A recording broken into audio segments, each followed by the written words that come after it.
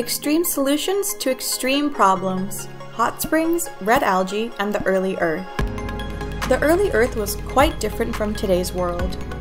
There was a newly formed crust with a lot of volcanic activity, a harsh atmosphere, and repeated collisions with celestial bodies that created an unforgiving environment. However, it is in such conditions that the first cells evolved. Are there places on the modern Earth that mimic these extreme environments? It turns out that hot springs, located in regions of volcanic activity such as Yellowstone National Park, provide the opportunity to learn about life in the ancient Earth. A famous group of photosynthetic organisms that live in hot springs are extremophilic red algae.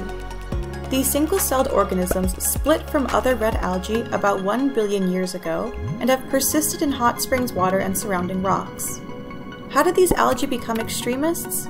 Surprisingly, they did not need to invent all of the specialized genes. Bacteria were thriving in hot springs long before the red algae arrived. Therefore, these algae used a process known as horizontal gene transfer, or HGT, to randomly incorporate bacterial genes that helped them adapt to the new environment.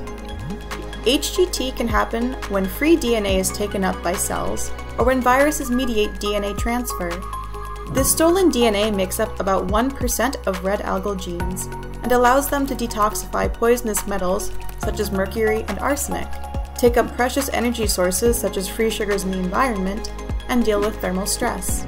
So, given this intriguing backstory, the goals of our project are to sequence genomes from hot springs red algae from all over the world, figure out which genes they stole, and study the tools they evolved for survival.